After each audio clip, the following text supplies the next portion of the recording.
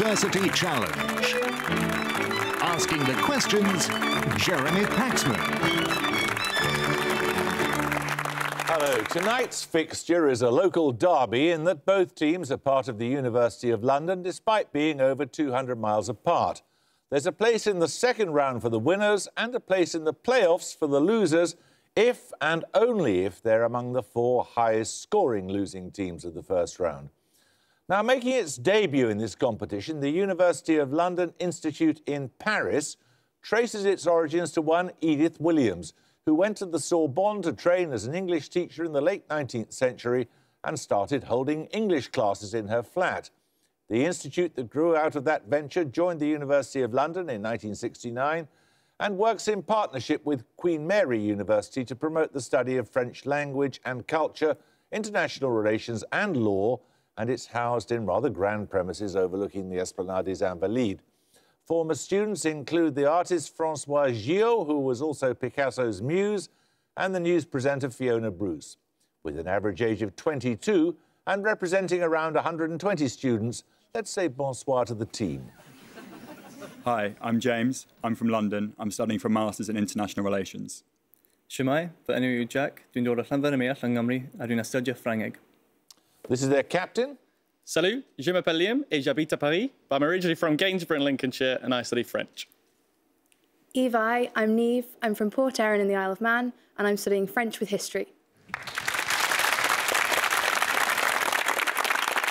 Now, Goldsmiths College has been part of the University of London since 1988, its site having been purchased by the Worshipful Company of Goldsmiths nearly 100 years earlier for the building of a technical and recreative institute.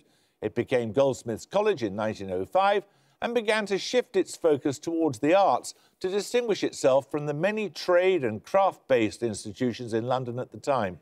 Unsurprisingly, therefore, tonight's team say the sciences may not be their strong point. Alumni include the artists Graham Sutherland, Lucian Freud and Bridget Riley, the pop impresario Malcolm McLaren and the hairy biker Dave Myers. Representing around 8,000 students and an average age of 23, let's meet the Goldsmiths team. Hi, I'm Keshava. I'm from Bangalore and I'm studying for an MA in Creative and Life Writing. Hi, I'm Yayan. I'm originally from Halifax and I'm studying politics, philosophy and economics. This is their captain, Hello, I'm Diana. I'm from New Orleans and I'm studying an MA in history. Hi, I'm Jamie. I'm from Belfast and I'm studying history.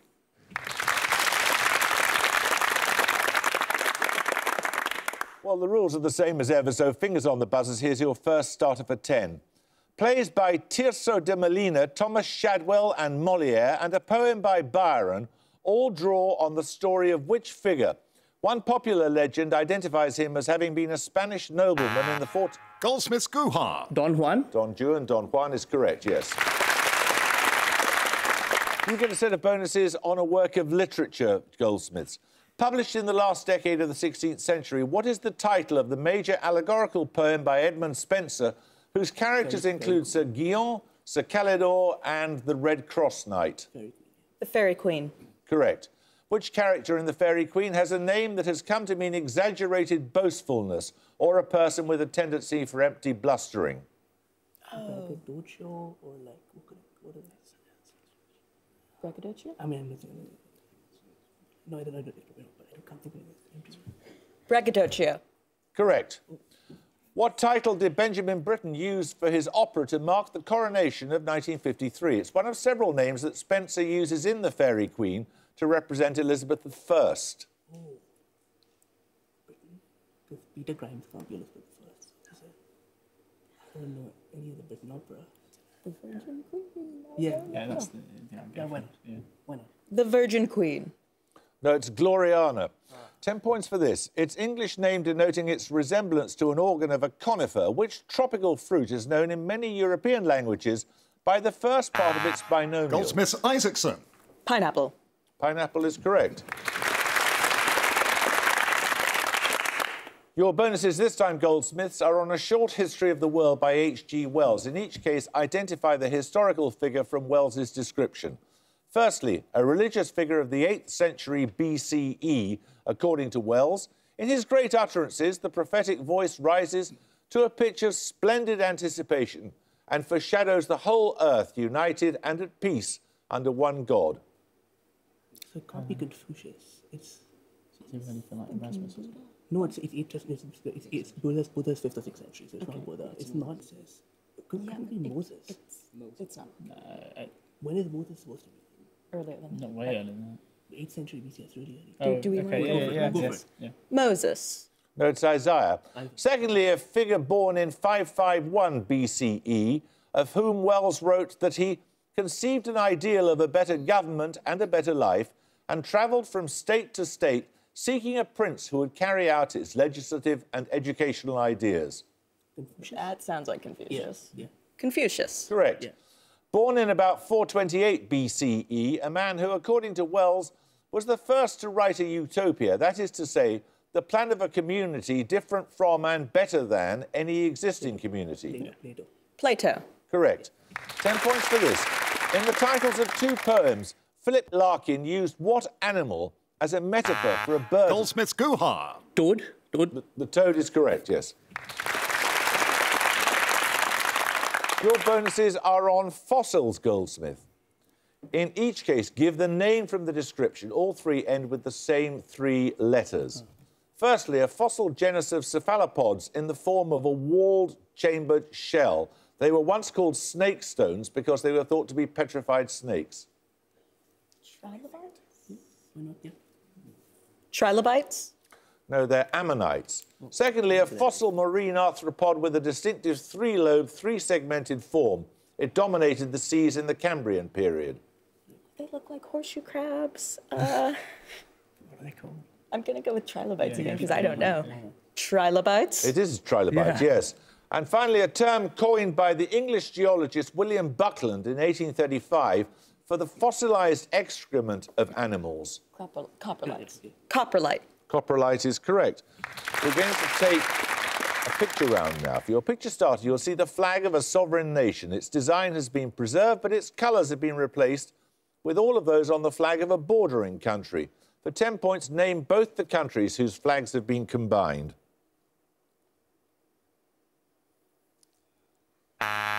Goldsmith's Guha. China and North Korea. No.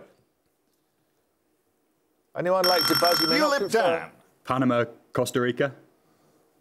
No, you're nearly there. It's Panama and Colombia, but Costa Rica and Panama have the same colours in their flags. So uh, we're going to take the picture bonuses in a moment or two, but let's see if we can get a starter question right first. 10 points if you can tell me who wrote the 1915 novel Herland, a utopian novella depicting an isolated all female society that's learned to reproduce by parthenogenesis. She also wrote the short story The Yellow Wallpaper. Goldsmith's Isaacson. Gilman. Gilman is correct, yes. So you get the picture bonuses, more uh, the hybrid flags using the design of the flag of one country and all the colours of the flag of a country it borders. Again, I need you to name both countries. Firstly, which two flags, both with two colours, are combined here? So that's China and. What's the blue? From what borders China? Mongolia? Russia. Mongolia? Bu- Bhutan as well. Bhutan? Yeah, China. Bhutan? Is that China and Bhutan? Decent guess. Uh, China and Bhutan? No, it's China and Kazakhstan. Secondly, which two flags, both with three colours, are combined here? No, it's um, Niger and. Well, um, Trinidad's an island, so that doesn't help. Yeah, Niger and. Chad. Chad, Chad, Niger. Niger, Niger and Chad. Niger and Chad. Correct. Finally, which two flags, again, both with two colours, are combined here? So Macedonia and Greece. Macedonia and Greece. Correct. 10 points for this. Born in Warsaw in 1879, Vanda Landowska is particularly associated with which specific keyboard instrument? In 1933, she became the first person to record Bach's Goldberg variations on the instrument in question for which they were originally written. Goldsmith's Guha. Organ. No? Anyone like to buzz from the London Institute in Paris? You may not confer, one of you can buzz. Ulip Griffiths. Synthesizer. No, it's the harpsichord. How can they have originally been written for a synthesizer? Ten points for this. Born in Halifax, John Walker shared the Nobel Prize in Chemistry in 1997 for the explanation of the enzymatic process that produces which energy carrying nucleotide? It's often known by a three letter abbreviation. Ulip Alcock. ATP? Correct. Right, your bonuses are on artists this time, London Institute in Paris. Noted for his large scale frescoes and decorative paintings, the 16th century artist Paolo Cagliari is more commonly known by what name, indicating the city of his birth?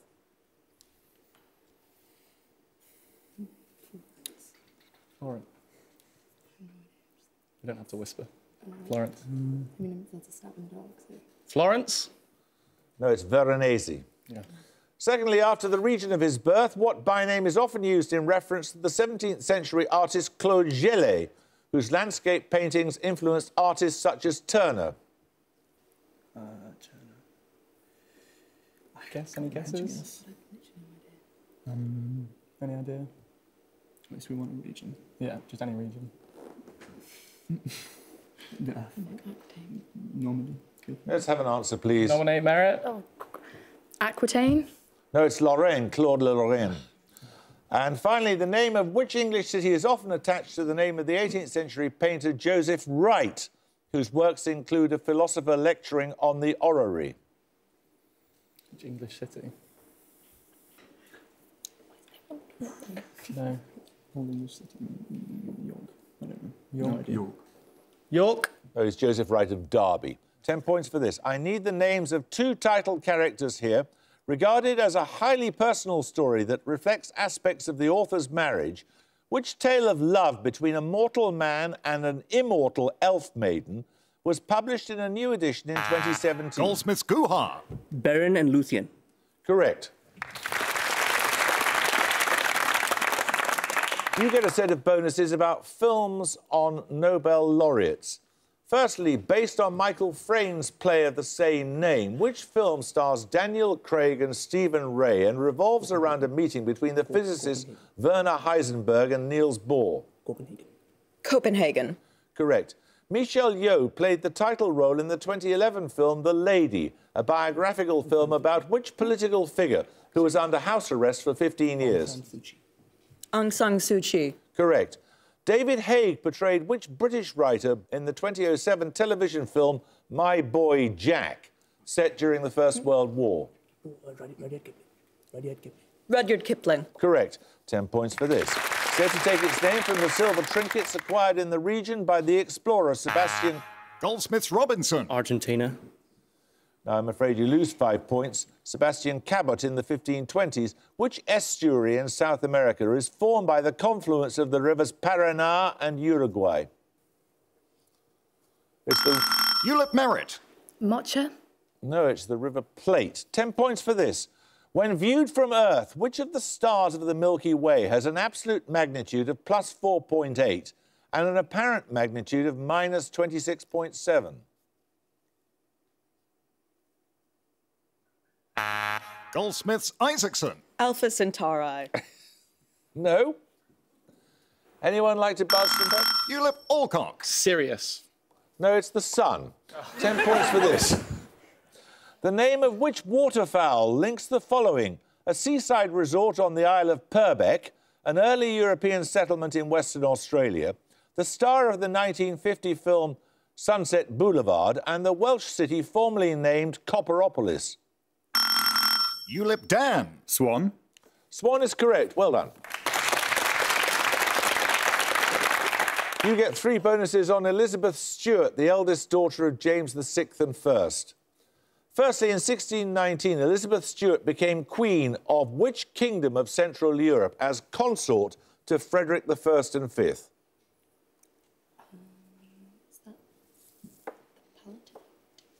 The what? Palatinate? I have no idea. I can't hear you. Nominate Merit? Uh, the Palatinate? No, it's the Kingdom of Bohemia. The Palatinate was earlier. Secondly, Elizabeth is sometimes referred to as the Winter Queen, as her reign in Bohemia lasted just one winter before she and Frederick were stripped of all Palatine lands by which Habsburg emperor? Any guesses? With the Spanish kings, were they Habsburgs? Were they? Yeah, go for it. I don't. Pass. It's Ferdinand II. And finally, during the Thirty Years' War, Elizabeth became a leading power broker for the Protestant cause from her exile in which European seat of government? So, listen, places. Northern. Northern. Like Germanic lands, I suppose. Or London. Come on, let's have an answer. Uh, Hamburg. No, it was The Hague. At this point in the contest, we're going to take a music round. For your music starter, you'll hear a piece of popular music. 10 points if you can name the artist performing. Goldsmiths Isaacson. Kanye West. It is indeed, yes. Heartless appeared on the album 808s and Heartbreak, the title of which refers to one of the earliest commercial drum machines, the Roland TR 808. For your music bonuses, three songs which feature that drum machine. I'd like you to name the artist in each case, please. Firstly, this artist.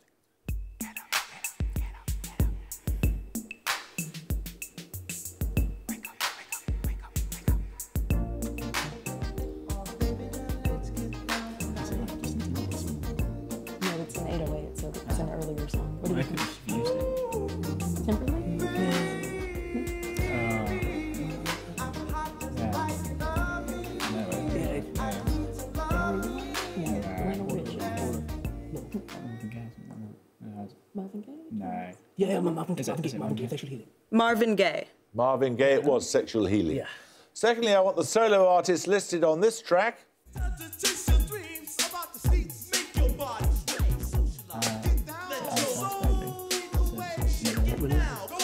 It's no, it's not like that.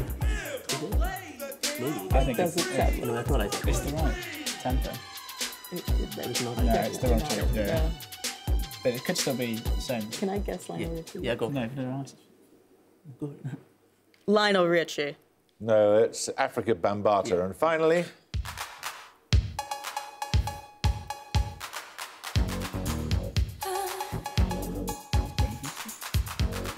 If I can. Yeah. Yeah.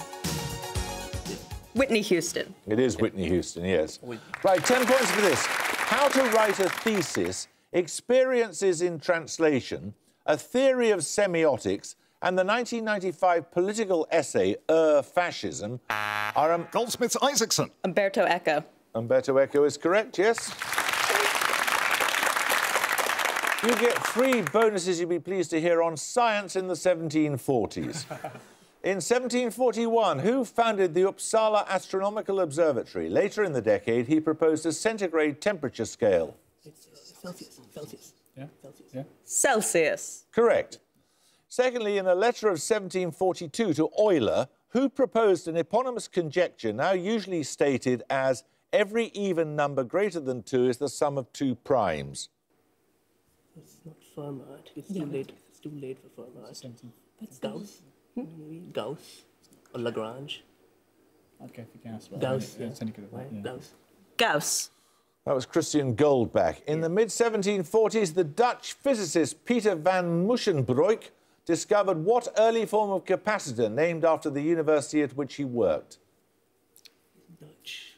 Not like a Geiger. Yeah, that's not. Uh, hmm. Orange? Named after the university, Dutch universities. Leiden. Uh, Leiden is a decent guess. Leiden's yeah, been is forever. Yeah. Leiden. Yes, Leyden jar, I'll accept that, yes. Still plenty of time for you to come storming back, Paris. Right. 10 points for this. A Germanic verb meaning strangle or throttle is the ultimate derivation of what common five letter verb? It is used of dogs attacking sheep and of the state of being anxious or troubled about actual or potential problems. Ulip Alcock. Guilt, but no. Goldsmiths Guha. Angst. No, it's worry. 10 points for this starter question. In ecology, what term from the Greek for ladder denotes the final stage of a plant succession in which vegetation reaches a state of equilibrium with the environment? Goldsmiths Isaacson. Homeostasis. Anyone like to buzz from Paris? Ulip Griffiths. Synthesis. No, it's the climax. 10 points for this. Britannicus, Andromaque, and Phèdre are among the tragedies of which French dramatist born in 1639? Goldsmiths Guha. Molière. No, anyone like to buzz from Paris? Zut alors! Racine. Right, 10 points for this. The Balkan Mountains are located largely within which EU member state? It is bounded by the River Danube to the north and the Black Sea to the east. Ulip Dan. Croatia. No, anyone like to buzz from ah, Goldsmiths? Goldsmiths Guha. Bulgaria. Bulgaria is correct, yes. Your bonuses, Goldsmiths, are on the films of Daniel Day Lewis, who announced his retirement from acting in 2017. In each case, give the title of the film from a description of the character he plays. All three are based on novels. Firstly, the Czech brain surgeon Tomas, who is involved in a complex love triangle with the artists Sabina and Teresa. No idea. The lives of others. No, it's the unbearable lightness of being. Secondly, the New York lawyer Newland Archer, who becomes involved in the divorce of Countess Ellen Olenska. The Age of Innocence. The Age of Innocence. Correct. Finally, the prospector Daniel Plainview, who becomes involved in the oil business in the early 1900s. There will be blood. There will be blood. Well done. 10 points for this picture question. Now, a starter question for the picture round. You're going to see a photograph of a Nobel laureate in literature. 10 points if you can give me his name. Ulip Alcock. Camus. It is Albert Camus. Albert Camus is by some margin the sexiest philosopher, according to an ongoing online poll by Existential Comics. Your picture bonuses are three more of the top 10 sexiest philosophers, according to that poll. Five points for each you can name. Firstly, for five, Kierkegaard. Kierkegaard? Mm-hmm. Kierkegaard? it is Kierkegaard, who was second at the time of this uh, recording. Secondly, Is that Derrida? Derrida? Any idea? Nominate, nominate Griffiths? Uh, Jacques Derrida. correct. And finally, It's kind of German. Maybe German. Quick. 20th century. Uh, choose someone. Anyone. Anyone. come on, let's have an answer, please. uh, Hegel. It's not Hegel. Hegel? Hegel? I don't know. It's a guess. No, that's Wittgenstein. Ten points for this. In zoology, th- certain species of what insect engage in the practice known as doulosis, or slave making? Ulip Griffiths. Ants. Ants is correct, yes. You get three questions on a First Lady of the United States. Born in 1874, Lou Henry was the first woman to major in geology at Stanford University, where she met her future husband, a fellow geology student. Who was he? 1874. Is that 1874? Say born, did you say born in 1874? Uh, yeah. Yeah. Okay, so um, anything between James. century? Yeah. Wilson. Wilson. Wilson? Wilson? No, it was Herbert Hoover. Lou Henry Hoover is one of the few leading US political figures to have gained a degree of proficiency in an Asian language. Which language was it? Uh, any Asian language. Korean. Mandarin, Cantonese. Mandarin. Mandarin? Yes, Chinese is right. In 1919, Lou Henry Hoover received an award for her work in war relief from Albert I, the king of which country? This is easy, surely. I don't know. Victorian Albert. Come on. England? Have you noticed a King Albert in this country? We didn't hear the No, it's question. Belgium. right, 10 points for this. There are about two minutes to go. Answer promptly. In the standard dictionary spelling, the expression terrific tariff agreement contains how many pairs of double letters? Ulip Alcock. Two. Anyone like to bust some doors? Goldsmiths Cox. Three. Three is correct, yes. Your bonuses are on literary titles that include the name or standard abbreviation of an SI base unit. In each case, give the title from the description. Firstly, the title of the third novel in Isaac Asimov's Foundation series. It follows Foundation and Foundation and Empire.